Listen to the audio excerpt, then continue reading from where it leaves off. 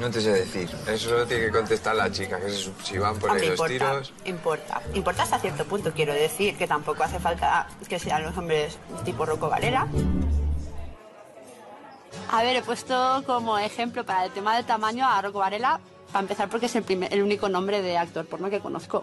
Vamos, que veo porno, pero no me fijo en sus nombres, la verdad.